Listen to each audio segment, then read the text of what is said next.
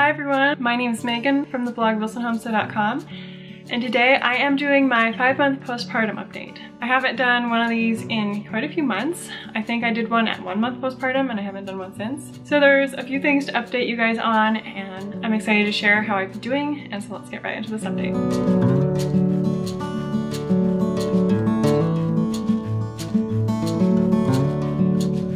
We've still been doing really well with breastfeeding, which is super exciting. I am coming up on about the time when my milk supply dropped off with my daughter Sophia because I was pregnant with Demi. So I'll be excited to get past kind of that milestone. I know that my milk supply went away for a really good reason because I was pregnant, but it's just going to be kind of a good reassurance that my body knows what it's doing and that I'm able to breastfeed for as long as I want. I'm hoping to at least breastfeed him to a year and past if he wants to. I just like last week stopped using the Haakaa. I had still been using it every single morning on each side when he would nurse and I would get about eight or nine ounces for my daughter to drink, which was really awesome that I was able to give her like five months more breast milk. But I finally got tired of it and it's just kind of a hassle to deal with and I just wanted to nurse him without having to worry about pumping and so we finally stopped and I feel really good about having given her five months of milk. I also just started my period for the first time since before I was pregnant with him. I thought I would start it sooner because with my daughter I got it back at two months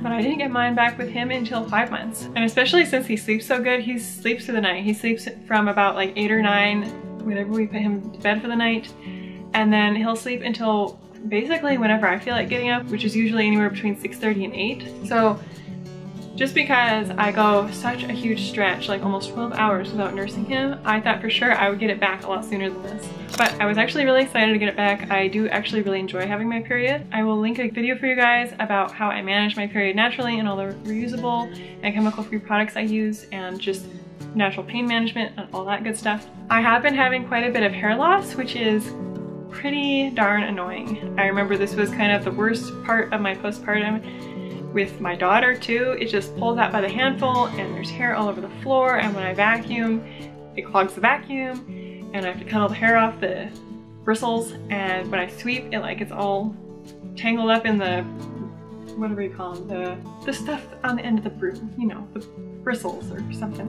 I've been taking some collagen capsules from Radiant Life and that's supposed to be really good for hair and nails and just all kinds of stuff so I'm hoping that that'll help stop it a little bit sooner. I had hair loss with her until I got pregnant with Demi so I'm not really sure when it would normally end if I don't get pregnant this time but I'm excited for it to end because I don't enjoy my hair falling out. I mean it's still really thick it's not because my hair is getting thin, it's just because I hate cleaning it up. So around like three months postpartum, I had lost pretty much all of the baby weight I am normally 140. I'm 6'1", so that's a really good weight for my height. And during pregnancy, I get all the way up to 200 pounds. With Sophia, my thyroid is a lot higher than this time, and I lost all of it by three months and kept it off. And this time around, I did lose most of it by three months, but then lately I've been back up to 160, which is perfectly fine with me.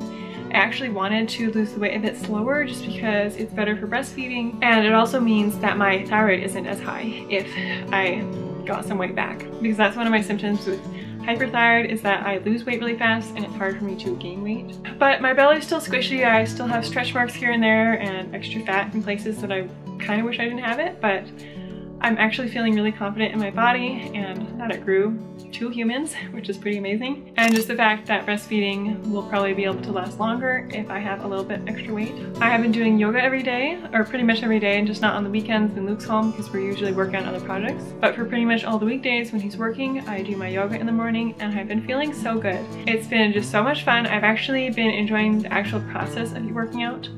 I have always hated yoga. And so I don't know what it is about this last postpartum time that I've been really enjoying it. But for the first two weeks, I mainly looked forward to how I'd feel after I worked out. Just the satisfaction that I had done it, that it was gonna get easier, and then I felt a little sore and tired. That's just a really satisfying feeling. And then after two weeks, I actually started looking forward to the process, the actual working out. So it's been a lot of fun for me, and I've never been a someone who's big into working out, but lately I've been really enjoying it. I have been having quite a bit of trouble with bladder infections.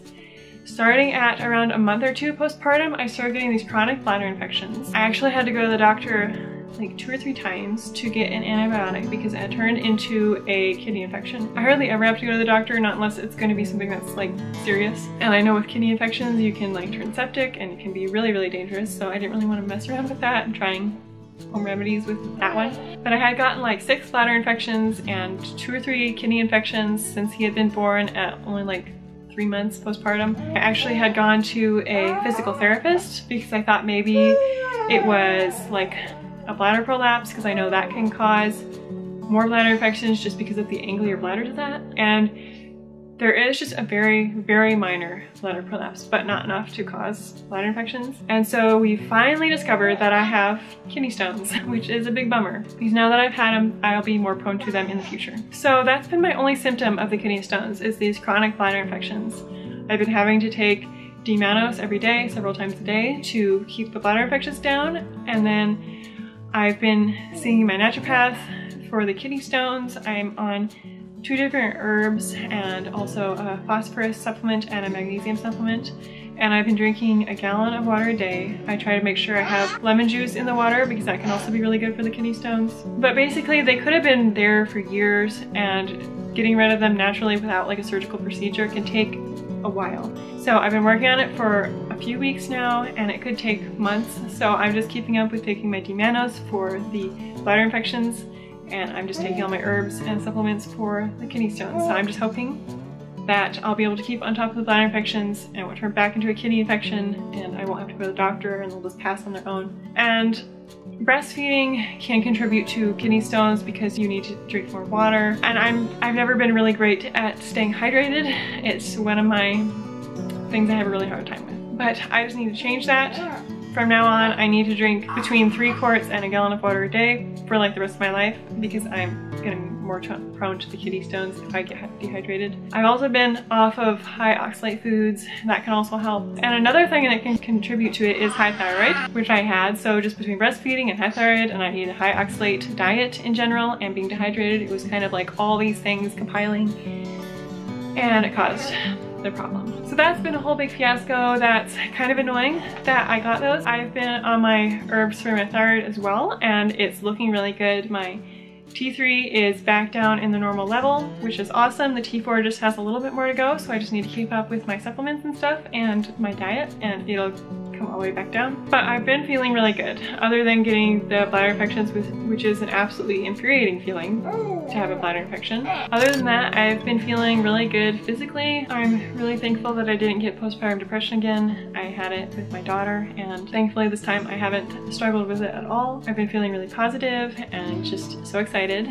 about life, and these little babies are such a blessing. I love being their mother. So I've been feeling pretty good postpartum. I'll just have to get these kidney stones dealt with and then I'll be perfect. But I hope you guys enjoyed this little postpartum update and I will see you in the next video. Bye!